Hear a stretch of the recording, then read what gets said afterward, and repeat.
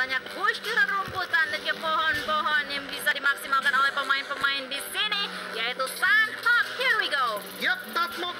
adalah jalur pesawat, tapi lagi dan lagi memang Sanok dengan ukuran yang kecil membuat seluruh player tentu bisa langsung menuju ke tempat yang mereka inginkan. Yang menjadi masalah adalah ketika ada pertabrakan dan ini dia the new collabo PUBG Mobile dengan Arcane dan bahkan roketnya Jinx dipakai oleh seorang Paraboy Ya. untuk turun, tapi tentu no pay to win, jadi sama-sama aja sebenarnya. Iya betul, sama-sama aja ya. Ya hanya sedikit, Betul. tetapi yang menarik di sini adalah posisi dari Paradise, di mana ada dua tim yang sekarang sedang eh, bersinggungan atau berdekatan jaraknya. Bahkan Esketon kali ini nampaknya HP-nya tinggal setengah karena pastinya mereka sekarang sedang berhadapan dengan Gi Xavier. Xavier ada Doug di sini yang udah mulai melakukan pengamatan dan sepertinya tadi shot pertama diberikan olehnya karena memang sudah ada posisi yang lockdown sekali dari tim tersebut. Tapi pergerakan di Xavier cenderung terbatas memang, tapi memang itu adalah key building dari Sanok dan mereka harusnya bisa lebih melebar lagi dalam gameplaynya. Dari Rico seperti udah menyadari hal tersebut, jadi bermain lebih pasif sekarang, manfaatkan lootingan yang harus dimaksimalkan terlebih dahulu dan hati-hati karena dari Eskaton juga udah mempunyai sebuah DBS dan kita tahu banget ini tadinya adalah senjata airdrop dengan ada beberapa barrel yang bisa langsung ditembakkan. So dari Xavier pun nggak bisa serta merta melakukan push ke arah bagian tim eh, Rico tentunya. Kalau misalnya bisa gue tambahkan kenapa tim Rico harus hati-hati karena mengingat mereka sekarang posisinya sedang berada di top 2 klasemen sem- dengan top poin.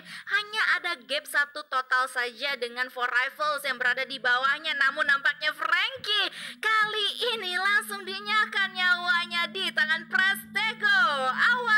baik untuk tim Rico. Karena dengan begitu dari tim DX nggak terlalu ngotot lagi untuk bisa masuk ke dalam pertahanan tim Rico. Betul banget dan itu bahkan nampak sekali dari pergerakan di Xavier. Kali ini mereka udah mulai pukul mundur ke arah bagian belakang lebih menuju ke arah ba- bagian getaway dari Paradise Resort. Dan di waktu yang bersamaan dengan menang secara kuantitas Rico udah cukup agresif mencari ke arah bagian main buildingnya. Namun Lamborghini cukup tertinggal di bagian belakang. Bahkan Anas kali ini hoki banget vest level 1 nya langsung bisa mengganti ke arah bagian level 3 sedangkan Duck no vest no helmet no healing prompt no bocor eh beda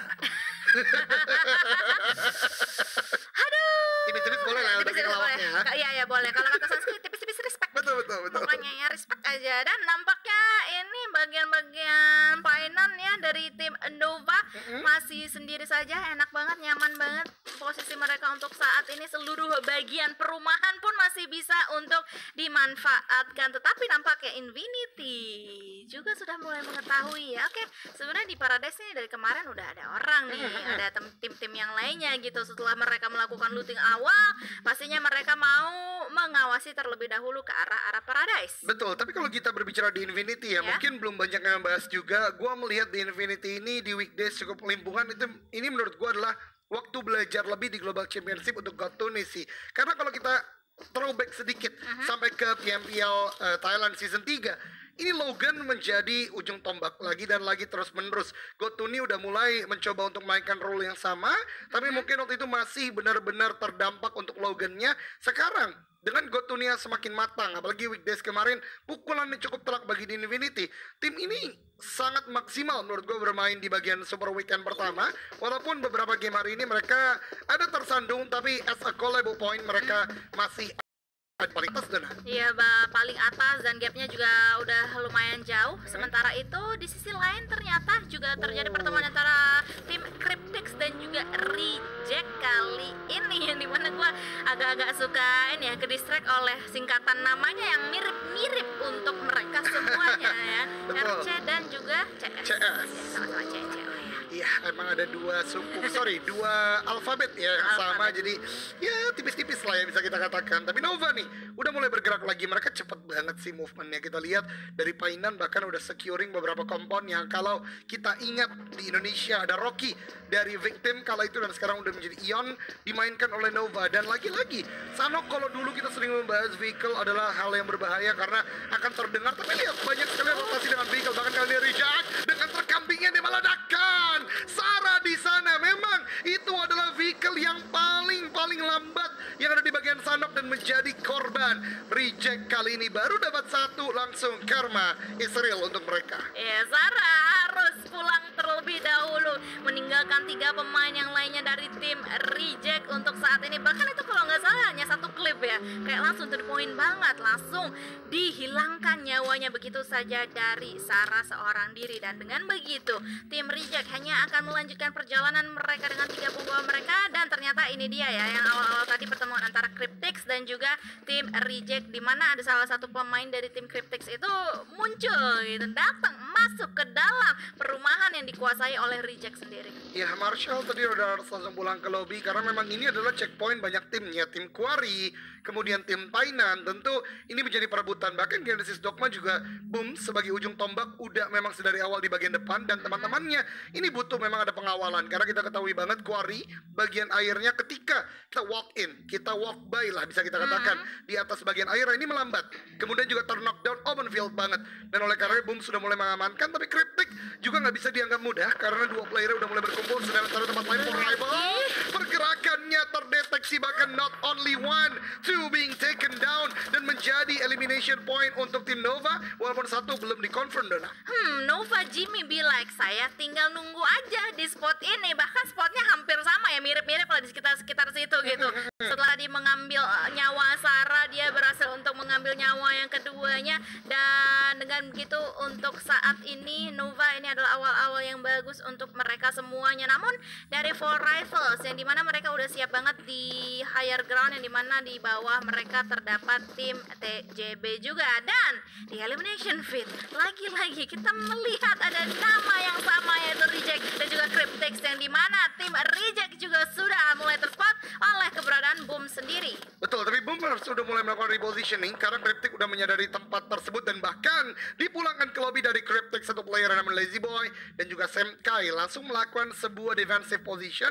Duelo masih ter-take down Jimmy di tempat lain. Kali ini justru Nova yang udah mulai ter-take down. Dan Lazy Boy terdeteksi oleh Daybot satu player yang benar-benar bersinar di hari ini. Bahkan sangat disiplin. Melemparkan utility tidak membuka badan. Kembali lagi Molly dilemparkan. Belum mendapatkan korban berikutnya. Sam Kai repositioning arah bagian belakang. Tapi pressure terus menerus diberikan oleh Daybot.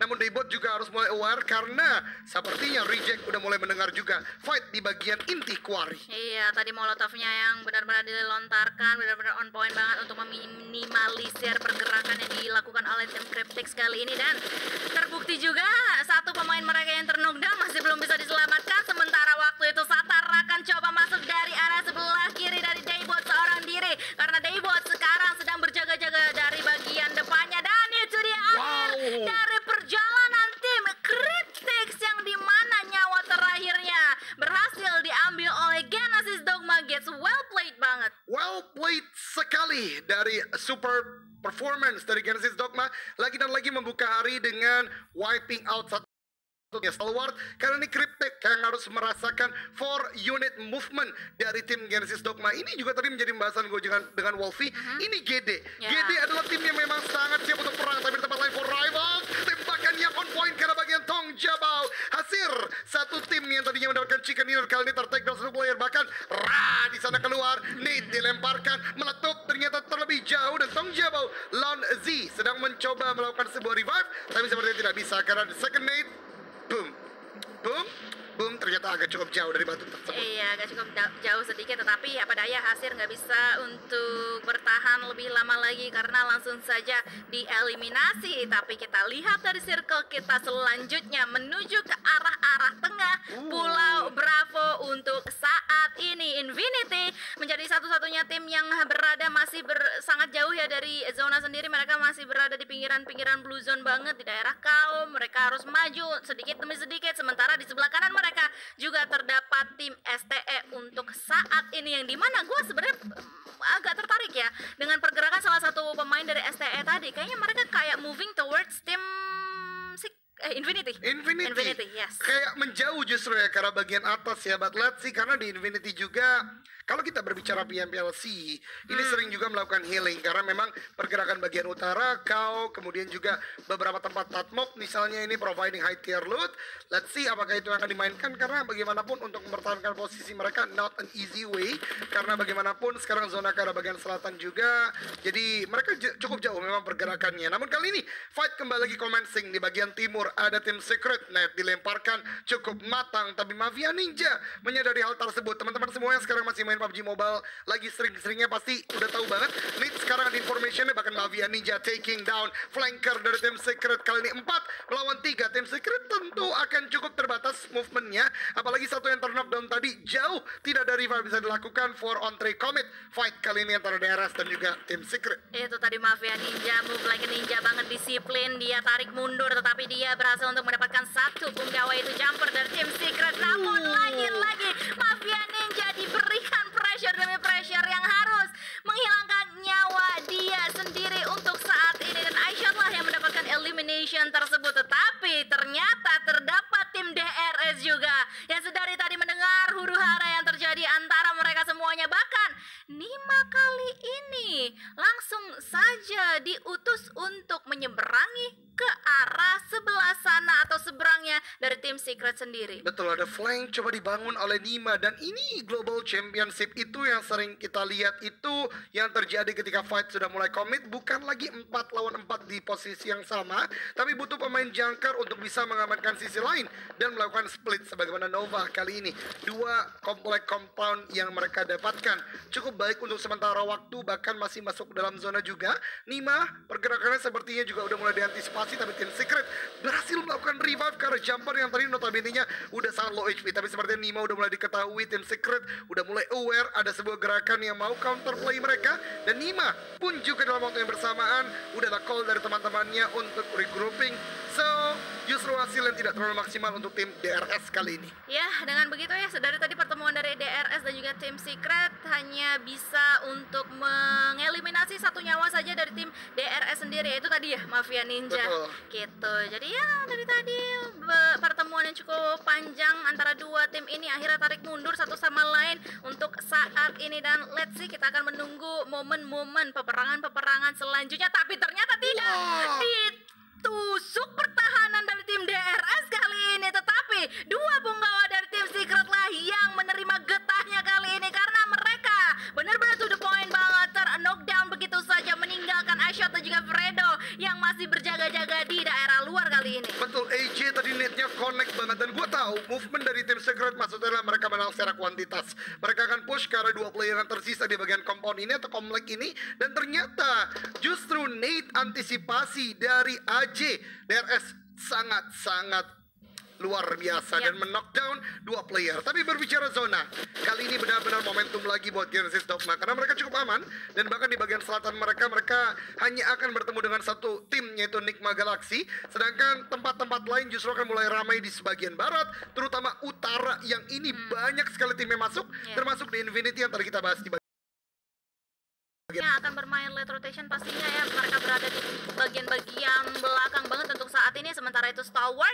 juga sudah mulai terspot adanya top di sana yang mendapatkan beberapa damage cukup signifikan dari arah order tadi yang berada atau nyangsang di atas genteng tetapi order nampaknya terlihat dengan sangat jelas HP-nya low banget tinggal sisa sedikit banget tetapi untuk saat ini masih menyelamatkan dirinya. Betul banget, tapi ini pilihan senjata yang menarik dari para boy menggunakan KBU yang memang ini adalah sebuah DMR menggantikan Mini 14 di bagian Sanok di tempat lain Tang Jabau mendapatkan satu player dari Rico tadi sepertinya meledak di sana dan bahkan Eskaton juga ter-take down berarti kalau kita tarik mundur ini ada di bagian utara sekitaran dari Getaway ke selatan dari Paradise dan benar saja dari tim Rico kali ini cukup pelimpungan tapi Tong Jabau langsung disiplin mereka kembali lagi merapat ke arah bagian compound karena dengan tembakan terjadi tentu ada sebuah posibilitas terdengar dari tim lain dan bisa jadi TP atau terparty terjadi. Yes, betul sekali. Tetapi untuk saat ini mereka semua masih sama-sama menahan begitu saja, menunggu lawan-lawannya melakukan blender dan itu dia tadi ada beberapa pemain yang terkena tembakan cukup signifikan. Rico atau salah satu pemain dari tim Rico juga langsung saja dihilangkan nyawanya, disudahi perjalanannya untuk saat ini dan dengan begitu dari tim Rico hanya meninggalkan Ana sebagai the last man standing yang nampaknya akan dicari oleh DX ini adalah salah satu tim juga yang kayak ngotot banget sih sebenarnya ya untuk bisa mendapatkan elimination point demi elimination point dari game hari ini. Iya betul banget bahkan di Angel tadi kita lihat walaupun dia terpulangkan terlebih dahulu tapi elimination cukup banyak. Namun kali ini tembakan ke bagian depan Oh. Sunan terdeteksi itu dia overpick yang hampir bisa dimanfaatkan oleh 6 to 8 namun dia langsung melakukan sebuah crouching dan movement ke arah batu yang berikutnya. Bahkan utility langsung dari Rabis. Ini benar-benar sih gameplay yang as a chemistry. Udah kayak cerita Iya. sendiri dan membuat Xavier langsung back off langsung menuju ke arah bagian tempat lainnya untuk setup posisi yang baru. Iya, itu kayaknya geraknya juga kompak banget ya tadi. Kayak mundurnya, ah, oke kita mundur bareng-bareng. Udah kayak paskibraka gitu. wah. Jalannya barusan dua orang tadi. Tetapi nampaknya dari DRS yang di mana mereka? Hanya bermain dengan tiga punggawa mereka bisa mendapatkan Nuzi dari Infinity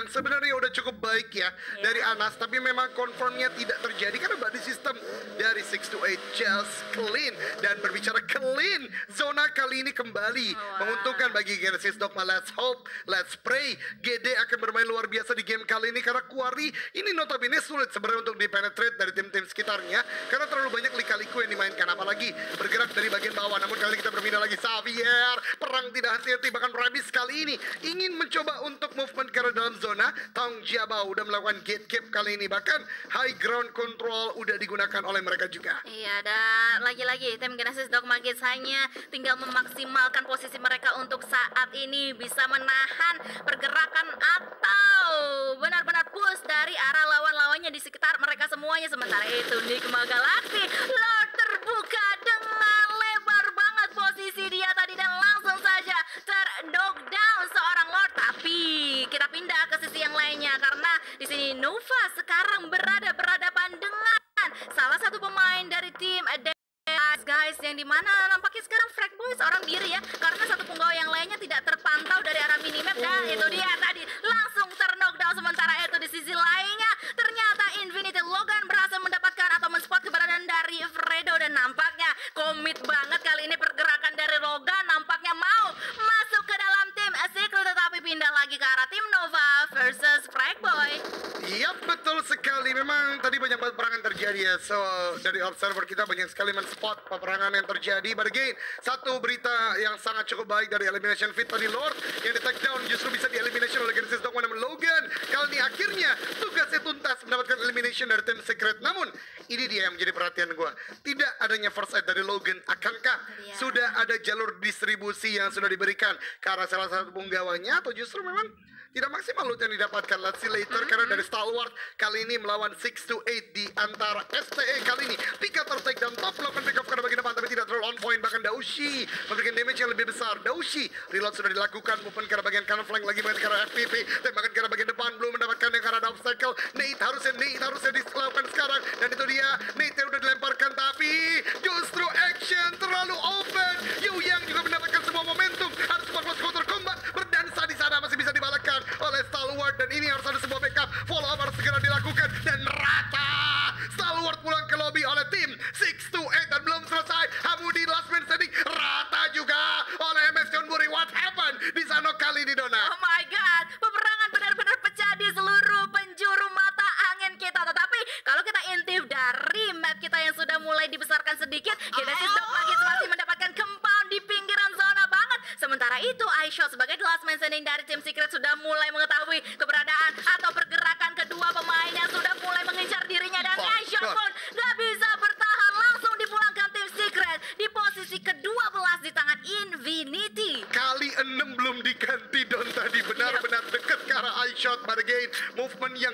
banyak masih dilakukan bahkan Xavier kali ini. Lihat ngacirnya dia menggunakan motor. Dak dak dak dak. Tapi justru terlalu terbuka DRS just took the point. Dapat satu langsung dikonfirm jadi elimination. Remnya blong tadi. Langsung ngacir arah bagian atas. Iya, blong,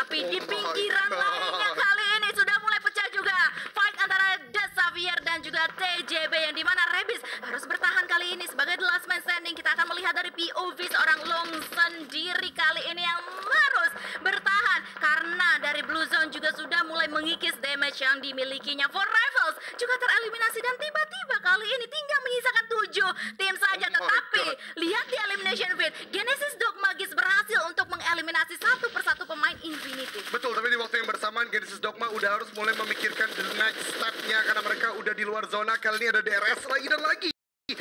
Pemikiran cukup mirip di game-game sebelumnya. Mereka harus mulai bergerak sementara Nima, AJ dan juga Gelsen sudah ada setup yang dibangun. Lut terlebih dahulu untuk maksimalkan lagi top 6 kali ini udah masuk dan lihat the Infinity. As I predicted nge-heal di sana tapi what? Why we move? Why we we move? Dari Akhirnya dapat Pop Z memang tapi tidak terlihat. Sayang sekali tadi.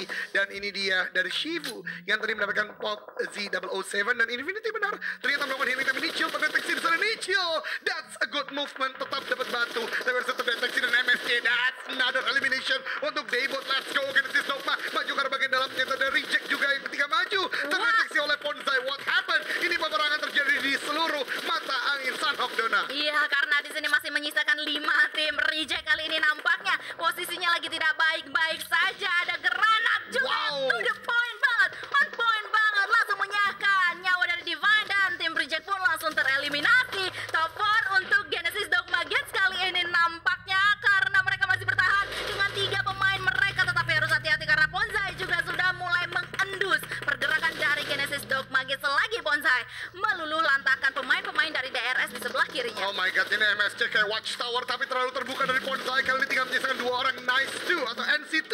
Kali ini coba untuk mendeteksi. Genesis Thomas sedang melakukan revive lagi dan di momen Nichil bisa bergerak. This is the good moment. Tapi Jasper sudah menguasai bagian tengah. Sebuah action cepat yang dibangun oleh MS John Buri kali ini masih cukup baik. Belum bisa untuk revive Daybot. Harus bisa mendapatkan elimination ini karena NC2 kalau mau mendapatkan sebuah momentum ke arah bagian depan. Karena memang tinggal dua active player. Jasper menjaga di bagian tengah. Gilson udah benar-benar menunggu aja dan masih ada satu tim yang tidak terpantau melakukan heal di bagian luar. Harusnya sih ini di Infinity masih heal di bagian luar. Iya nampaknya ya dan kita bisa melihat sendiri juga dari arah drone kamera kita pergerakan Daybo juga sudah mulai dibangun dan melihat Let's go! dan langsung bisa mendapatkan satu knockdown tersebut yang ini benar-benar knockdown terpenting untuk tim Genesis Dogma dan mereka bisa